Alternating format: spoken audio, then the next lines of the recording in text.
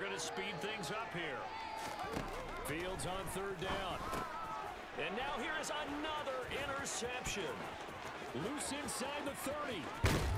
And the Bucs are going to take possession of the football.